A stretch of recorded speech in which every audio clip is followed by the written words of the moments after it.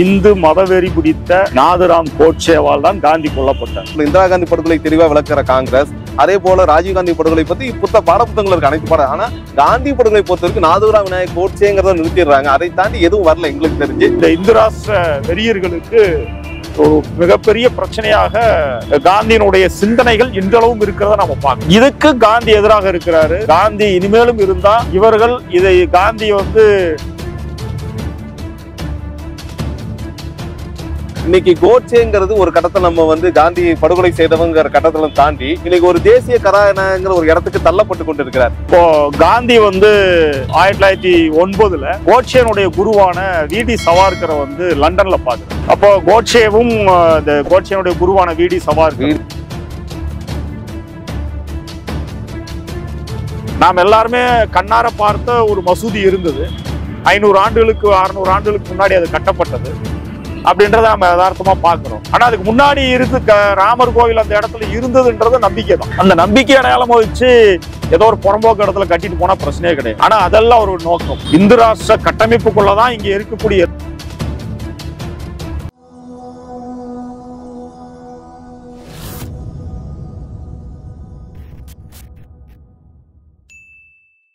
Umbrella வலைத்தள நேயர்களுக்கு வணக்கம்.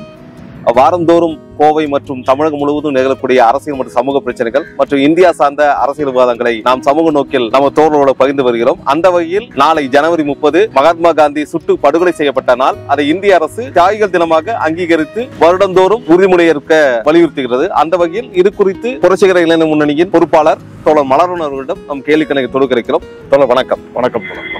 தோழர் கிட்டத்தட்ட இந்திய வரலாறு ஆயிரத்தி தொள்ளாயிரத்தி நாற்பத்தி எட்டு சுதந்திரத்துக்கு அப்புறம் தான் காந்தி இறக்குறாரு.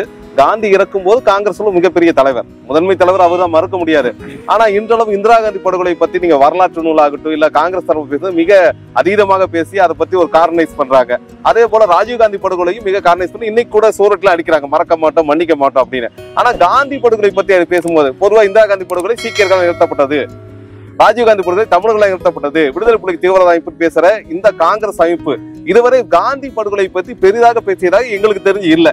ஏன் எதனால்? அப்பனா உண்மையால காந்திய படுகொலை செய்தது யார்? இந்து மதவெறி பிடித்த நாதுராம் கோட்சேவால் தான் காந்தி கொல்லப்பட்டார். இந்த வரலாற்று நூல்ல காங்கிரஸ் தான் கிட்டத்தட்ட ஒரு அறுபது ஆண்டு ஆண்டு இருக்கு. ஏன் வரலாற்று நூல்கள்ல அது பதிவு செய்யப்படும் இந்திரா காந்தி படுகொலை தெளிவா விளக்குற காங்கிரஸ் அதே போல ராஜீவ் காந்தி படுகொலை பத்தி புத்த பாடப்புத்தகங்கள் இருக்கு அனைத்து பாடம் ஆனா காந்தி படுகொலை பொறுத்த வரைக்கும் நாதுரா விநாயக் கோட்சேங்கிறத நிறுத்திடுறாங்க. அதை தாண்டி எதுவும் வரல எங்களுக்கு தெரிஞ்சு. இல்ல வேற எழுதப்பட்டிருக்கா இந்த தரப்புல? காந்தியினுடைய இந்த படுகொலைக்கு காரணம் கோட்சே அப்படின்ற ஒரு தனிநபரை வந்து மட்டும் காரணமாக சொல்வதை நாம் எப்போது ஏற்றுக்கொள்ள முடியாது. காந்தி என்கின்ற நபர் கொல்லப்பட்டதற்கு காரணம் அவர் முன்வைத்த ஜனநாயக சமூகத்திற்கான விளிமியங்கள் மிக முக்கியமான காரணம். அதை மறுத்த அதை தீவிரமாக மறுத்த இந்து அடிப்படைவாத தேசத்தை கட்டியெழுப்ப நினைத்த இந்து ராஷ்டிர வெறியர்களால் தான் காந்தி படுகொலை செய்யப்பட்டார். காந்தி வந்து படுகொலை செய்யப்படுவது ஏதோ கோட்சே என்கின்ற ஒரு தனி மனிதனுடைய மூளையில் விதித்த ஒரு கொலை சதி திட்டம் அல்ல. காந்தியை வந்து எல்லாரும் கொலன்னு நினைச்சாங்க. காந்தியை எதிர்க்கின்ற தீவிரமான இந்துத்துவ வெறியர்கள் அனைவரும் கொல்லணும்னு நினைச்சாங்க. நீங்க ஒரு நல்ல முரணை பார்த்தீங்கன்னா காந்தியை வந்து பொது உடைமையாளர்கள் எப்போதும் விமர்சித்து கொண்டே இருந்தாங்க. காந்தியை வந்து திராவிட கருத்தியலை முன்வைத்த பெரியார் எப்போதும் விமர்சித்துக் கொண்டே இருந்தார். காந்தியை வந்து சுதந்திரம் சமத்துவம் சகோதரத்துவத்தை கொள்கையாக வலியுறுத்திய அம்பேத்கர் எப்போதும் விமர்சிச்சு கொண்டே இருந்தார். ஆனா இவங்க யாருமே காந்தியை கொல்லணும்னு நினைக்கல. இவர்களுக்கு வந்து காந்தியை கொல்லணுங்கிறது நோக்கமும் கிடையாது.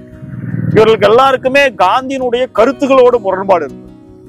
காந்தி என்கின்ற வெகுஜன தலைவரை காந்தி என்கின்ற அந்த ஆளுமையை இவர்கள் எல்லாரும் ஏற்றுக்கொள்கிறார்கள் இந்திய விடுதலை போராட்டத்தினுடைய மு- முன்னணி முகமாக அவர்கள் அதை பார்க்கிறார்கள் ஆனா காந்தியோட கருத்துக்கள்ல நடைமுறைகள்ல சில முரண்பாடுகள் அவங்களுக்கு எல்லாம் இருக்கு. ஆனா இவங்க யாருமே கொல்லணும்னு நினைக்கல.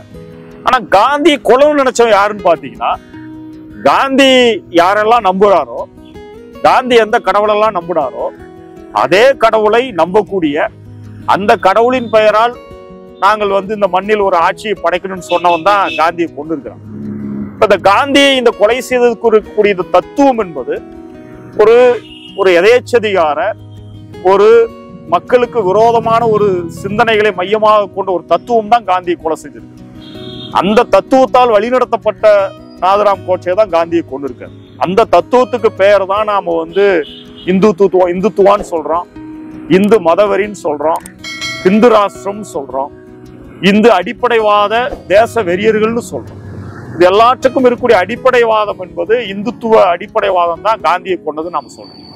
ஆனா என்ன பிரச்சனைனா இந்திய சமூகத்துக்குள்ள எப்போதுமே வரலாற்றை எழுதுகிறவர்களும் சரி உயர் பொறுப்புகள் இருந்தவர்களும் சரி ஆட்சி அதிகாரத்தில் இருந்தவர்களும் சரி எப்போதுமே இந்த கருத்தியலால் ஏதோ ஒரு வகையில பாதிக்கப்பட்டவர்கள் தான் பெரும்பாலும் கடந்த 75 ஆண்டு காலமாக இருந்து வந்திருக்கிறாங்க. அதனாலதான் காந்தி வந்து இந்து மதவெறியர்களால் படுகொலை செய்யப்பட்டார். இந்து மதவெறி பிடித்த கோட்சேவால் படுகொலை செய்யப்பட்டார் என்று அவர்கள் வந்து வரலாற்றிலேயோ அல்லது வந்து பாடல்களோ பதிவு செய்யவில்லை என்று நான் கருதுறேன். இது இந்தியா முழுமைக்கு இருக்கக்கூடிய இந்த பார்ப்பனிய மேலாதிக்கம் தான். பார்ப்பனிய சிந்தனை பார்ப்பனிய மேலாதிக்க சிந்தனை கொண்டவர்கள் இங்கே ஆட்சி பொறுப்பில் இருந்த காரணத்தினால்தான் அது பதிவு செய்யப்படவில்லை. நம்மை பொறுத்தவரை நாம் எப்போது உறக்க சொல்றோம்?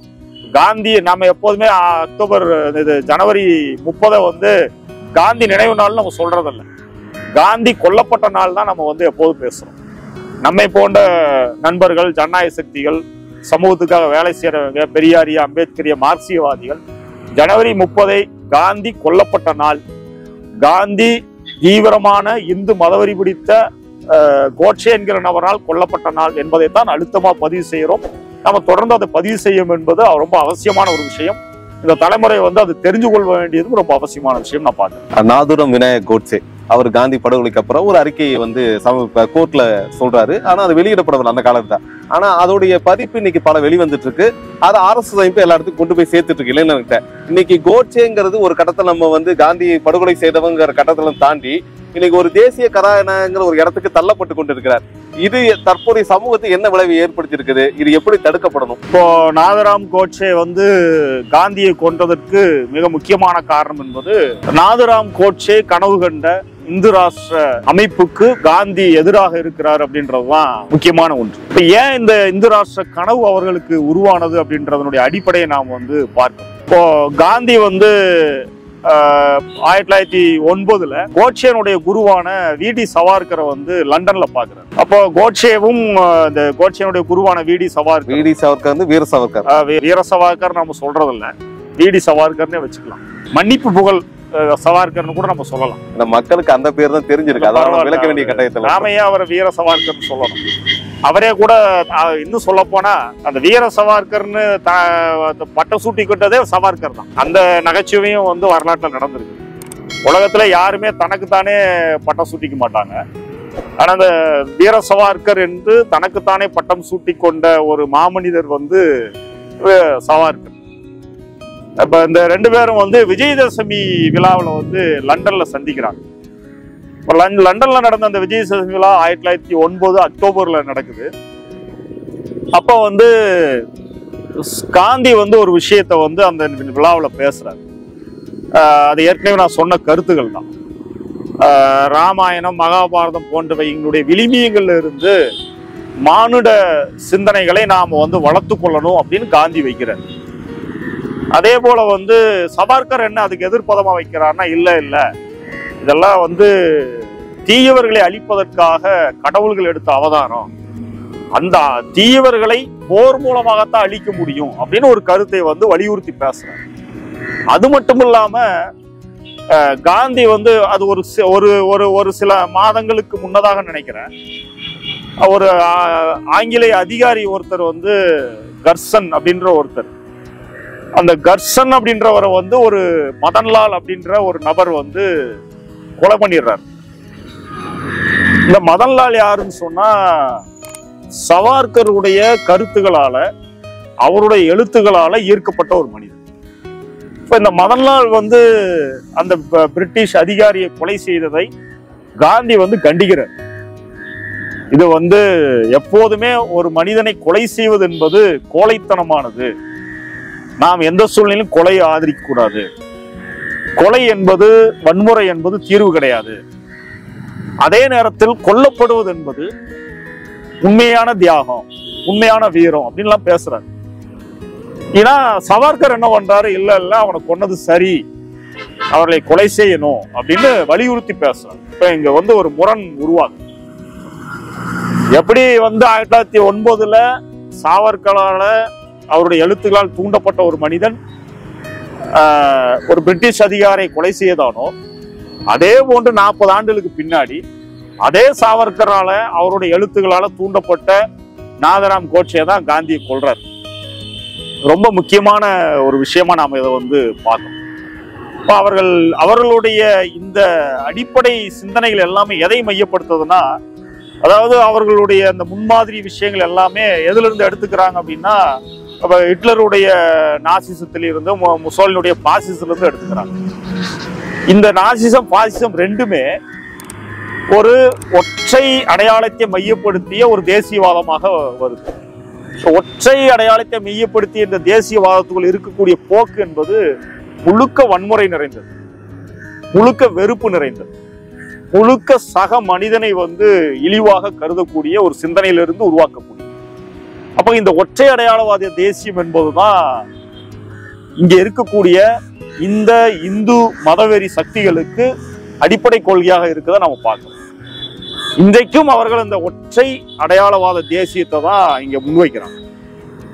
இதுக்குள்ள இருக்கக்கூடிய போக்கு என்பது அதுக்கு மதத்தை பயன்படுத்தி கொள்றாங்க. அதுக்கு சாதியை பயன்படுத்தி கொள்றாங்க. அதற்கு அவர்கள் கட்டமைத்து வைத்திருக்கக்கூடிய இந்த சனாதன தர்மம் இதெல்லாம் அவர்களுக்கு உதவக்கூடியதாக இருக்கு. இந்த அடிப்படையில் நின்று கொண்டுதான் அவர்கள் வந்து இதுக்கு காந்தி எதிராக இருக்கிறாரு. காந்தி இனிமேலும் இருந்தா இவர்கள் இதை காந்தி வந்து மக்களிடம் எடுத்துட்டு போன பிரச்சாரம் கருத்து பரப்புரைகள் எல்லாமே இதுக்கு எதிராக இருக்கு. எல்லா தீவிரத்தையும் எதிர்க்கின்ற போது காந்தி இந்த ஒற்றை அடையாளவாதத்தையும் கடுமையாக எதிர்க்கிறாருன்ற விஷயத்தை நம்ம புரிஞ்சுக்க வேண்டியது இப்போ அந்த அடிப்படையில் இருந்துதான் காந்தி இதை எதிர்க்கிறாரு எதிர்த்து வேலை செய்கிறாரு பிரச்சாரம் பண்ணுறாரு தொடர்ந்து மக்கள்கிட்ட போயிட்டே இருக்கிறாரு.